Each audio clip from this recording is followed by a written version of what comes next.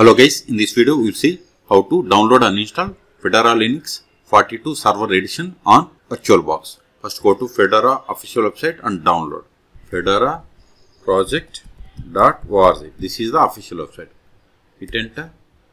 Over on the mouse on Get Fedora. See here we have the versions Workstation, KDE Plasma, Server, Cloud, CoreOS and IoT.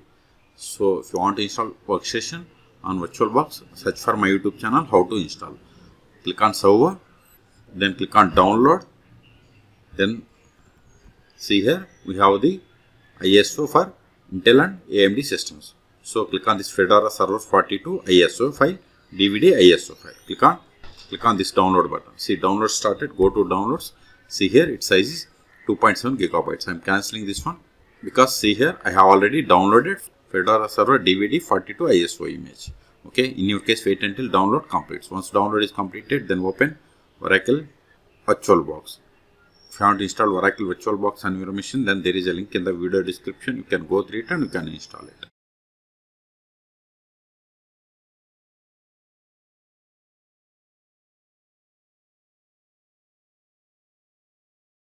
Click on New or Machine and select New. Either is fine. Click on New. Then provide the name for the virtual machine. I am giving Fred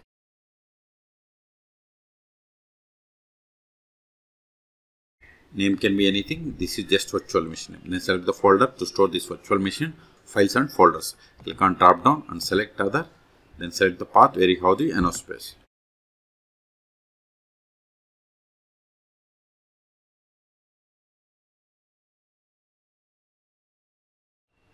Then select the ISO image by clicking on this drop down select other.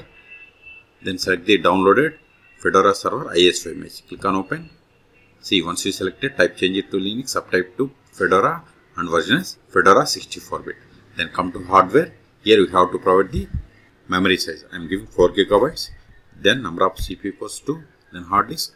This, this is virtual hard disk size. I am giving 50 gigabytes. It is up to you based on availability and the requirement. Once you fill all these details, then click on finish. Still, if you want to modify the settings of this virtual machine, just click on settings or right click and select settings or machine and select settings. All three options are same. Okay. If you are okay with all the settings, just click on start.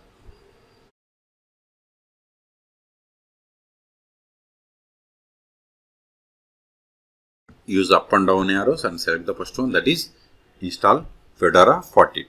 Hit enter. Select the language and click on continue. Now we have to select or configure the items are the options that are marked with red color. So click on. This installation set destination. I am okay with the default one. Click on done. Then root account. Enable. Then provide the password for this root account. Confirm the same. Then if you want allow root SSH login with password, select the checkbox. Then click on done.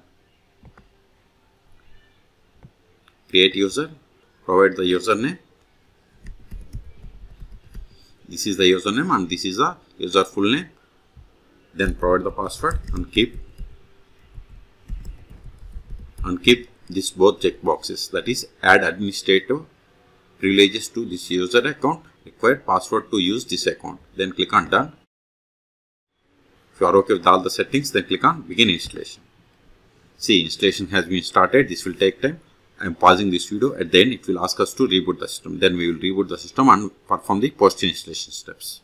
See, installation is completed. Click on reboot system.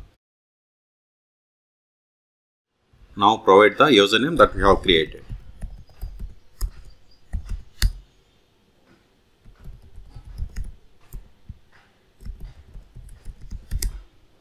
Control A. Now verify the version that we have installed more slash etc OS-release. See, we have installed Fedora Linux 42 and it is server edition and it is stable. Release type is stable. Okay, control A, the first step after connecting to Fedora Linux service, we have to update the packages. sudo dnf update ampersand ampersand sudo dnf upgrade. Hit enter, provide the password sudo user, hit enter.